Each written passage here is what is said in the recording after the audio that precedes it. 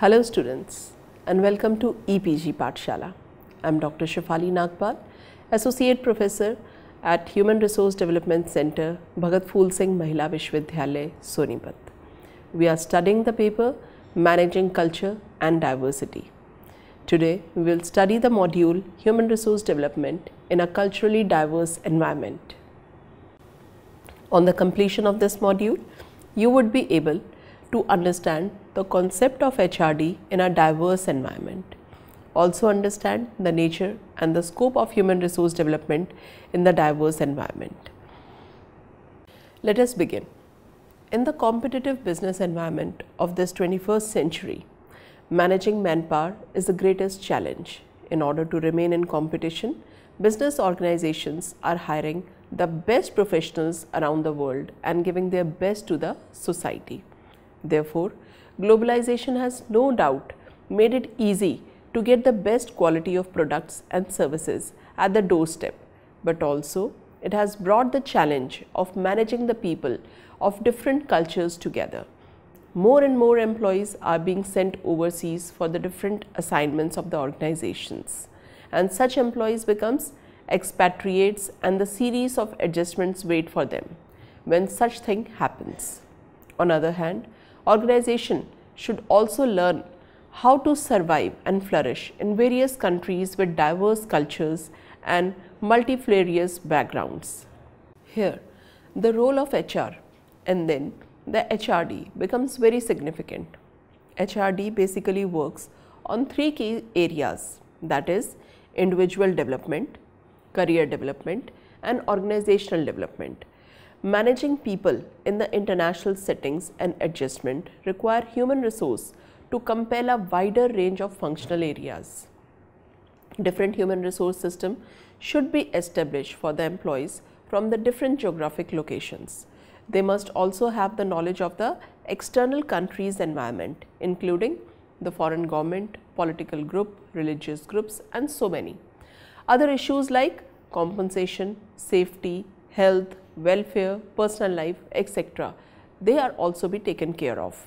Employees from the foreign countries are valuable and most costly human asset of an organization and therefore, it is necessary to manage them systematically and strategically so that they can easily adapt, survive and flourish in the diverse cultures and environments. Students, let us understand the few definitions of human resource development. According to Pulapa Subba Rao, HRD is a process in which the employees of an organization are helped or motivated to acquire and develop technical, managerial and behavioral knowledge, skills and abilities and mold the values, beliefs and attitude necessary to perform present and future roles by realizing the highest human potential with a view to contribute positively to the organizational, group, individual and social goals. According to Professor T. V. Rao, HRD is a process by which the employees of an organization are helped in a continuous and planned way. First, to acquire and sharpen the capabilities required to perform various functions associated with their present and expected future roles. Second, to develop their general capabilities as individual and discover and exploit their own potential for their own or organizational development purpose. Third, to develop an organization culture in which superior subordinate relationship, teamwork and collaboration among subunits are strong and contribute to the professional well-being, motivation and pride of employees. Now, let us understand the nature and scope of HRD. First, it is systematic and planned approach. It is a systematic and the planned approach for the development of the culturally diversified workforce in order to achieve the organizational, group and individual goals. Second, it is a continuous process for the culturally diverse workforce. HRD is a continuous process for the development of technical, managerial, behavioral and conceptual skills and knowledge. Third, it is multi-level. HRD develops the skills and knowledge not only at the individual level, but also at the dyadic level, group level and organizational level. It is multidisciplinary. HRD is multidisciplinary as it draws its input from the engineering technology, psychology, anthropology, management, commerce, medicines, etc. Fifth, various techniques. It demands various techniques like performance appraisal, training and development, career planning, counseling, social and religious program, quality circles, etc. It is omnipresent. The presence of HRD is seen not only in the manufacturing and service industry, but also in the information technology industry. Let us now understand what is the scope of human resource development here. The HRD deals with the development of the human resources in order to achieve the individual, group and organizational goals and helps in efficient management of the employees in the organization. The scope of HRD in relation to culturally diverse workforce is as under. Now, let us see the scope of HRD.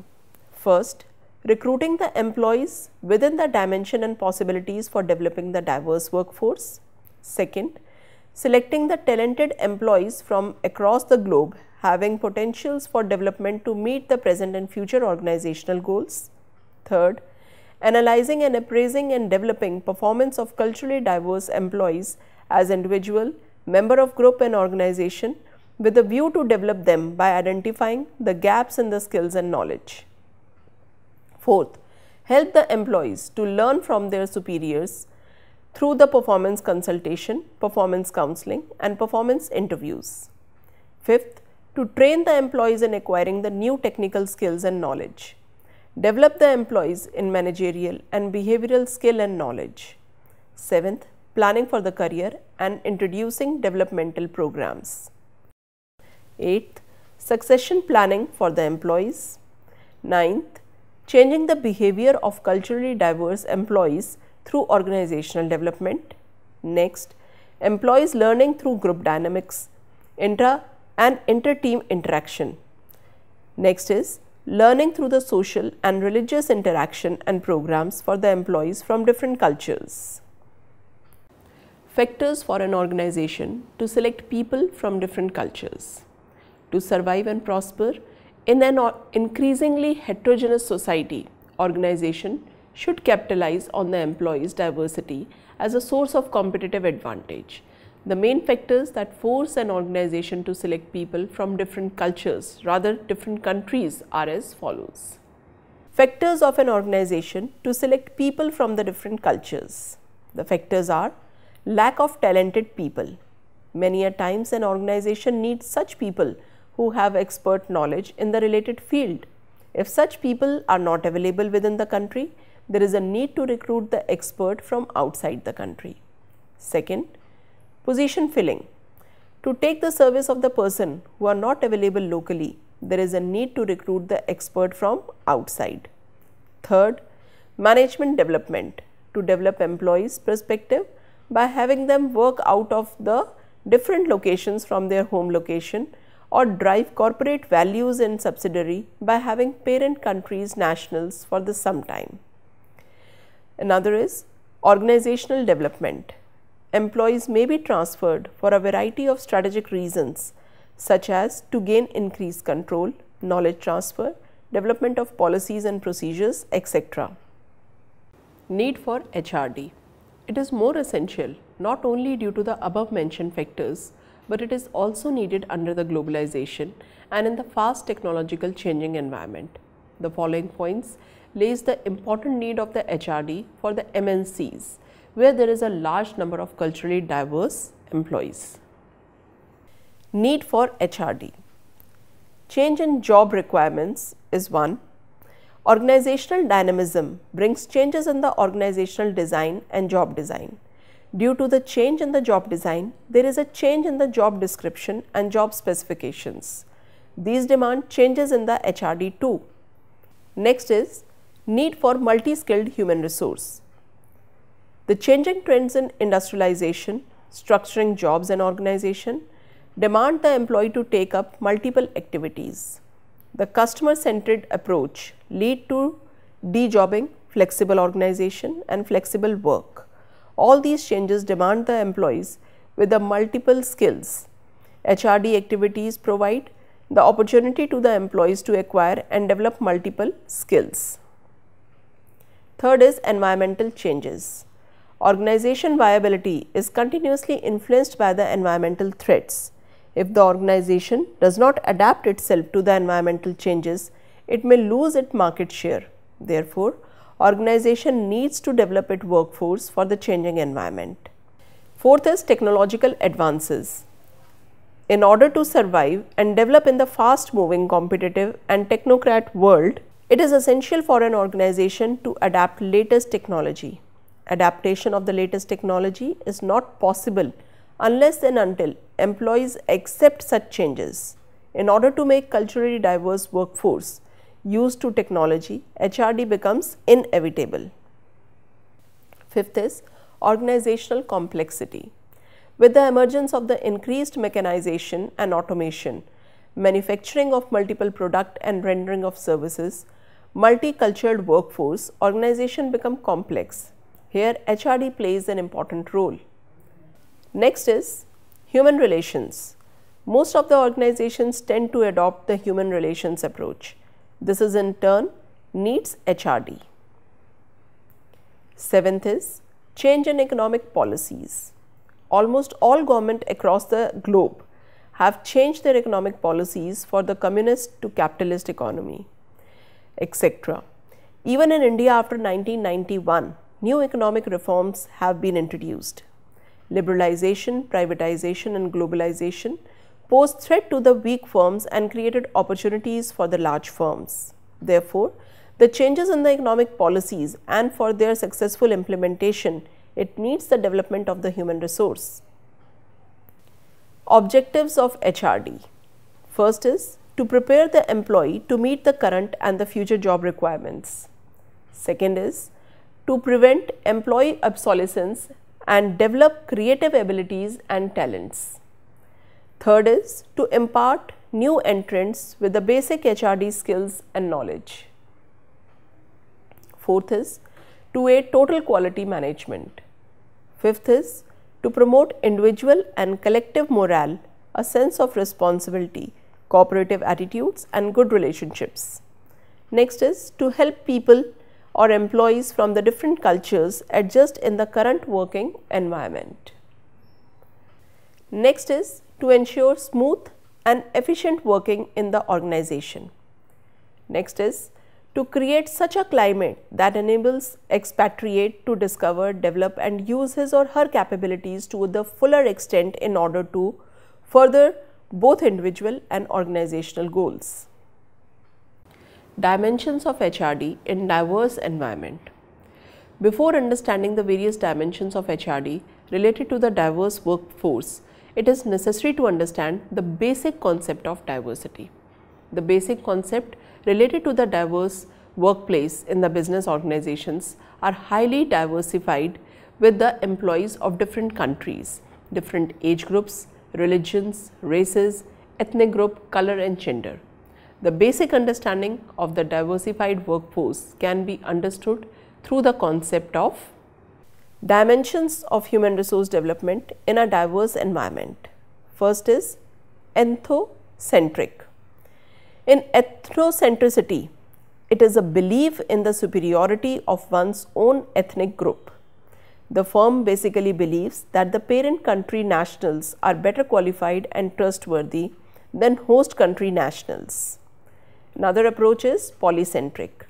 Polycentricism is a belief that the local people know the local environment better than outsiders. Third is geocentric. Geocentricism is a nation that the best people should be employed regardless of their nationality. Fourth is regiocentric. Regiocentricity is the variation of staffing policy to suit particular geographic area. Dimensions of the human resource development in diverse environment. Research studies shows that high rate of expatriate falls due to the cultural shock. According to Harris and Moran, the cultural differences between the countries should be examined from the different given dimensions. The following dimensions shows the functions of the HRD manager as it makes very essential for the employees from the outside. Dimensions of HRD in a diverse environment. Creating a welcome environment. HRD must try to create the soothing environment when the first time the foreign employee visit the organization. He can assist such employees by giving a warm welcome that can be done by either using certain signs of his languages or images that would make him feel comfortable, proving information in his language, etc. Another is sense of self and space. It matters a lot for an expatriate that how much personal space is given to him. Generally in India, people generally prefer to work in group and avoid individualistic approach. It is not the case in the western countries. HRD should take care of this function that the individual has his own space. Another is language. Foreign language and skills are the gateway to the cross-culture understanding. Words and gestures means different things to different people. For example, Ford introduced a low-cost truck, Fiera, in some Spanish-speaking countries. Unfortunately, the name meant ugly women in Spanish. As a result, low sales were there. Therefore, HRD should take into consideration the dimensions of the language. Next is dress and appearances. Garments and body decorations vary by culture. Formal dress by the business meeting may be essential in some countries and not in others. HRD should guide the employees in this respect as what they expect to wear according to the organizational culture. Another is the food and the eating habits.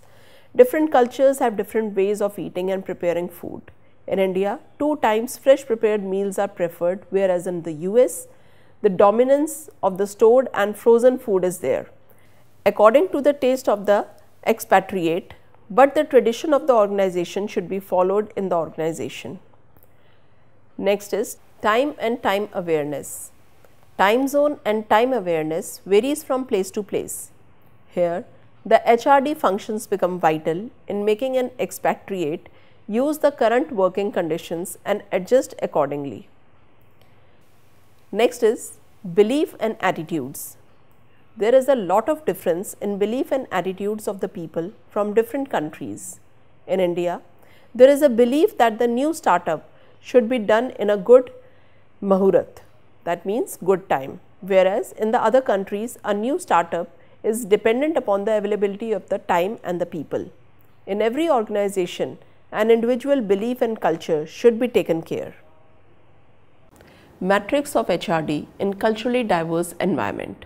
Under the normal circumstances, HRD matrix includes instrument, processes, outcomes and effectiveness. Each one has been explained in short below. Matrix of the HRD in a culturally diverse environment. One is instruments of HRD.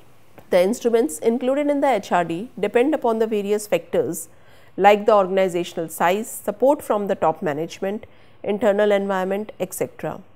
Generally, these instruments include performance appraisal system, counseling, role analysis, potential development of an employee, training, job rotation, job enrichment, etc. HRD process. Due to the instruments of HRD, the next stage is the generation of processes. It includes various processes like role clarity, performance planning, risk taking, dynamism of employees, etc. Such processes should result in more competent, satisfied and committed people that would make the organization grow by contributing their best to it. Next is the HRD outcomes Due to the efforts of the HRD instruments and processes, people become more committed, satisfied and dedicated. They try to give their best performance to the organization. Organizational effectiveness. The HRD outcomes influences the organizational effectiveness, which in turn depends upon the number of the variables like environment, technology, competitors, markets, etc. Linkages between the HRD instrument, process, outcome and organizational effectiveness. HRD department, performance appraisal, review, discussion, feedback, counseling, role analysis, potential development exercise, training, communication policies, job rotation, enrichment, rewards, etc. are the instruments. In the processes, role clarity, planning of development by every employee, awareness of competencies required for the job performance, proactive orientation, trust, collaboration and teamwork, authenticity, openness, risk taking, value generation, clarification of norms and standards are included.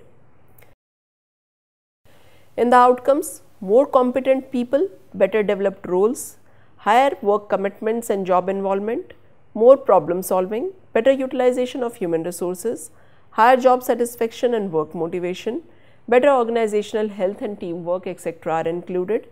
In the organizational effectiveness, higher productivity, growth and diversification, cost reduction, more profits, better image. Now let us understand the mechanism of HRD. Its mechanism depends upon the organization. Generally, an organization uses the mechanism which develop the competencies of an employee and improve the overall organizational climate, especially for an expatriate. The basic components of such mechanism are as under. The various components as you can see in this diagram, one is a performance appraisal, potential appraisal, career planning, training and employee development, organizational development, reward, employee welfare and quality of work life. What are the components of the HRD mechanism? First is performance appraisal. In order to manage and improve the performance of an employee, taking accurate decision regarding the staff and to improve the overall productivity of an organization, the performance appraisal system is widely being used. The main aim of performance appraisal is to provide the exact and correct picture of the employee's performance. To meet this performance, targets are set. These targets are based upon the job criteria and best determines the job performance. Using the various techniques of performance appraisal, the expert compare the actual performance with the set standards. Appraisal help an organization to communicate its expectations regarding performance and connection between the performance and the reward of an employee.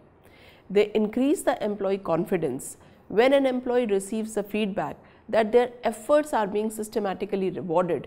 It includes the negative feedback also along with the positive remarks. A rater should use the HRD oriented appraisals as a mechanism to uncover the difficulties faced by the subordinate while handling the assigned task and try to remove these hurdles. Understand the strength and weaknesses of the subordinate. Next is to encourage the subordinate to meet the problems head on, accept responsibility and face challenges with confidence and courage. Plan for effective utilization of talents of the subordinates. The second component of the mechanism is potential appraisal.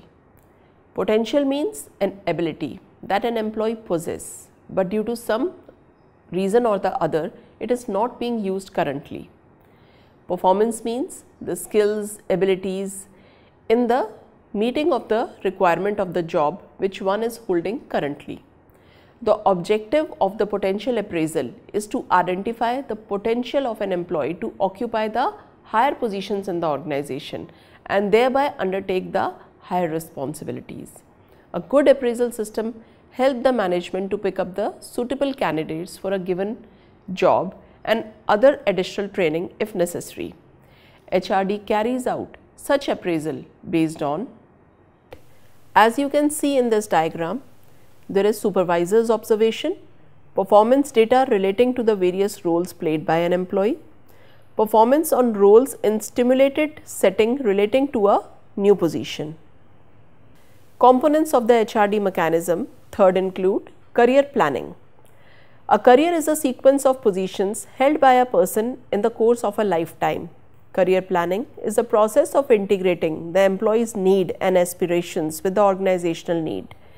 In relation to an expatriate, long-term growth plan of the firm is made known to him. Major changes are discussed at all levels to promote understanding and commitment among the culturally diverse workforce. Career planning does not ensure 100% success, but at least employees are prepared to encash the opportunities that come in the way. This in turn benefits both employees as well as the organization. Fourth is training and the employee development. Training is a learning experience designed to achieve a relatively permanent change in the individual that will improve the ability to perform on the job.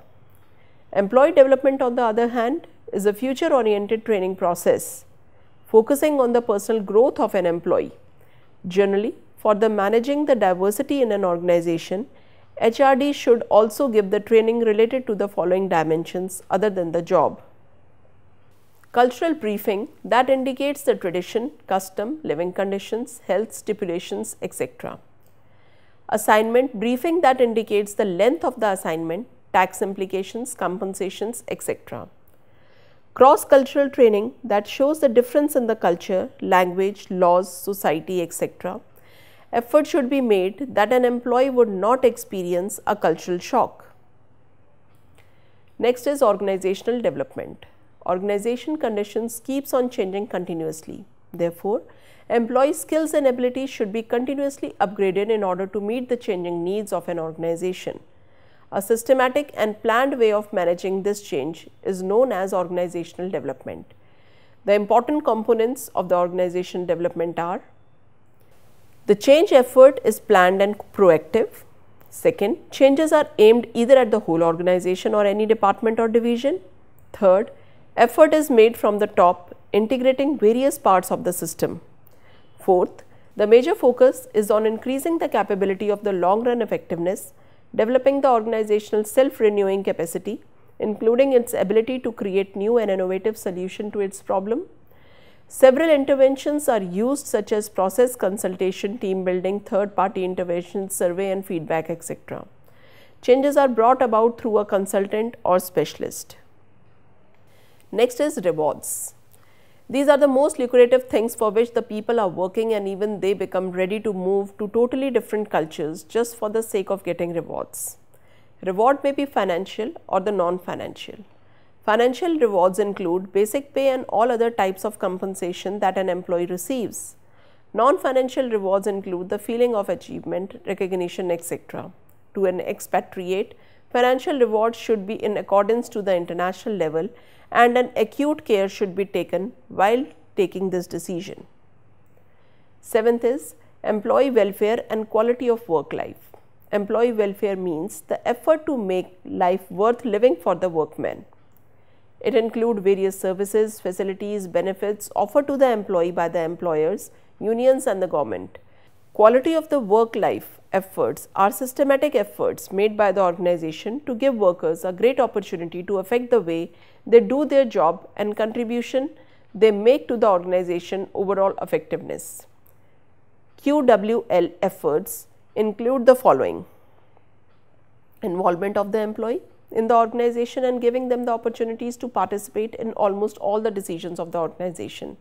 Second is the quality circles which means the small group of the employees who meet regularly to find, analyze and solve quality and other work related problems of the particular department or the section. Third is self-management work teams.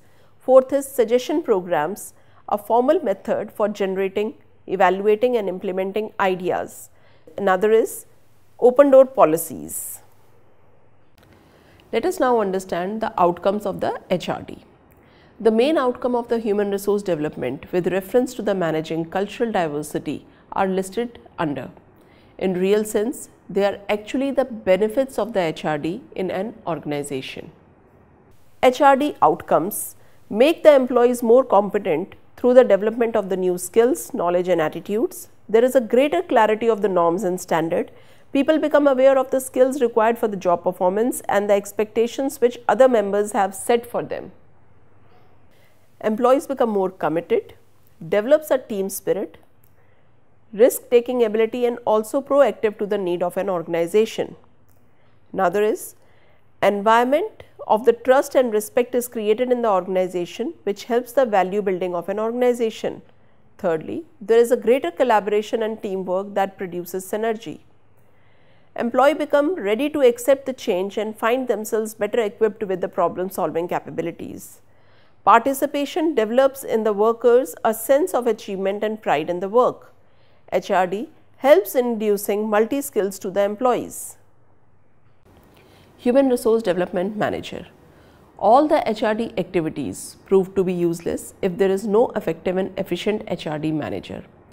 He plays a very crucial role in the organization and holds a key position. Given below are the few attributes according to the Pareek and Rao which a HRD manager should possess. As we can see here that under the HRD manager there is a technical, managerial and personal. The technical skills include the various types of the performance and potential appraisal abilities and the systems for developing them, various types of test, measurement of the behavior, behavioral science and knowledge of the techniques in the behavioral research. Managerial skills include the leadership qualities, decision skills, organizing abilities, etc. And personal skills include the trust, positive attitude, creativity, concerns for excellence, etc. Role of HRD manager.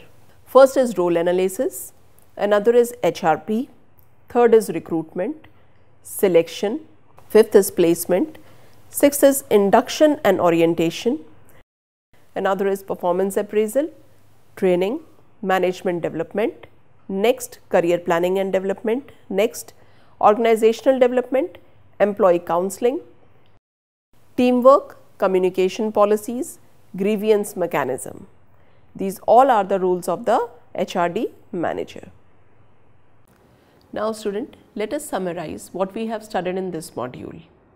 In a culturally diverse workforce, it becomes essential for an organization to efficiently and effectively use the HRD so that it can achieve its goals. HRD is the art of procuring, developing and maintaining competent workforce. HRD aims at helping to acquire competencies required to perform all functions effectively to make the organization do well. It improves the capability of the people, promotes the team spirit among the employees and thereby helps the organization to achieve its goals. HRD is a proactive function as it prepares the people to face the future challenges and confidence. HRD mechanism which include the performance appraisal, potential appraisal, career planning, training, organization development, rewards and welfare etc. are available to develop the competencies of the workforce and improve the overall organizational climate. It also proves to be very helpful when there is a diverse workforce as it takes care about the various dimensions like cultural differences, language, food habits, etc. for the employees from the different culture. There is an increasing realization in the business circles that HRD would help the employees acquire knowledge, skills, capabilities needed to survive and flourish in this competitive world. Therefore, HRD is an inevitable part for the success of any organization. That is all students. Thank you.